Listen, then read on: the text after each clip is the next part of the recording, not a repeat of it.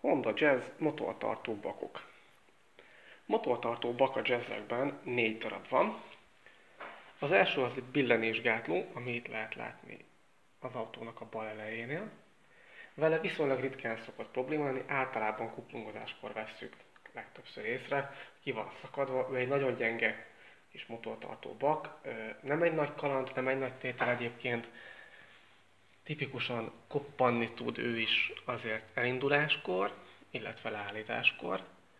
A következő motortartó bak az a váltónak a tetején helyezkedik el, vele találkozunk a legritkábban, sem megnézni nem szoktuk, sem különösebben diagnosztikázni nem szoktuk, tehát nem szoktunk vele foglalkozni. A harmadik motortartó bak az a hátsó motortartó vak, ő a futómű kereten helyezkedik el, közvetlenül a kormánymű fölött, és úgy rögzül hozzá a blokknak a hátsó részéhez.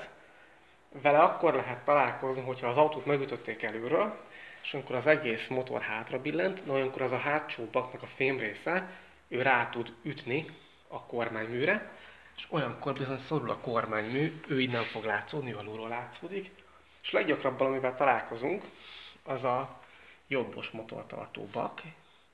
Ő így néz ki. Aminek van egy kis különlegessége is, ezt már is mutatom.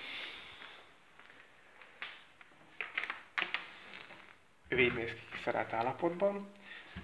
Ez a motortartó bak belülről folyadékkal vagy olajjal van töltve.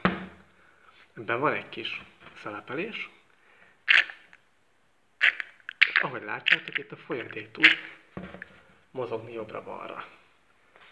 Az szokott történni, hogy ez kiszakad alul, vagy kiszakad oldalt, vagy kirepedezik az egész, és ez a motortartó bak leül teljesen, kifolyik belőle az olaj, és ahogy ő leül teljesen, erre az oldalsó részre felül a motortartó baknak az a fém, része, amit itt láttok, és onnantól kezdve a motor rezgését közvetlenül átadja a karosszériának. Ez azt jelenti, egy bizonyos fordulatszám tartományban, álló helyben borzalmasan rezeg az egész karosszéria. Legtöbb jazznél lehet azért hallani, hogy egy olyan 1500-2500-as fordulatszám környékén bizony rezeg a kaszni, de hogyha ez sokat erősödik és teljesen kikoptatja más szinte ezt a részt, akkor már a teljes fordulatszám tartományban az egész karosszériát remegteti.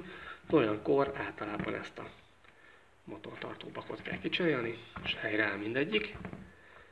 További érdekessége, hogy bár magát a bakot ugye igazából nem annyira nagy matek kicserélni, mondjuk ez a csavar azért lefele megy, tehát azért úgy ügyesen. Azért mégsem ajánlom, hogy otthon cseréljétek ki, mert nagyon furán félre lehet pakolgatni, illetve az otthon cserélősök nagy része sem a pötköt nem szokta eltalálni, ami itt van rajta, sem nincs olyan hosszú gyűszűk, ami ennek az alsó részéről csavart fölfele meg szokta tudni lazítani, vagy meg szokta tudni húzni, és akkor azért szokottak időnként galibák lenni. Másrésztről meg azért, hogyha ezt nem sikerül rendesen kicserélni, akkor az egész motor egy oldalra lehuppan, az meg azért nem egészséges, úgyhogy ha lehet, akkor ezt inkább a bízátok szakemberre. Ja, mennyibe kerül? Hát most ez, ez vegyes, tehát egy ilyen 10 ezer forinttól egy ilyen 30-40 ezer forintig tartanak az után gyártottak is. A legolcsóbbak nem szoktak jók lenni. Tehát amiket lehet látni a különböző online alkatrész webshopokban, na nagy része nem szokott jó lenni.